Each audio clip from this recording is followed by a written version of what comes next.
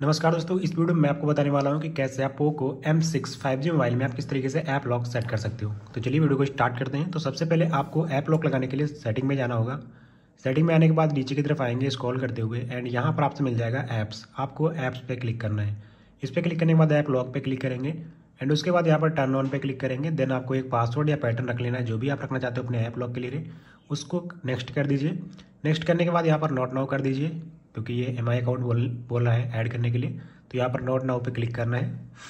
उसके बाद use app lock पे क्लिक करेंगे। देन आपको यहाँ पर कैंसिल करना है। एंड देखिए, पहले से ही कुछ ऐप्स लॉक होकर आ चुके हैं तो इनको आप अनलॉक भी कर सकते हो।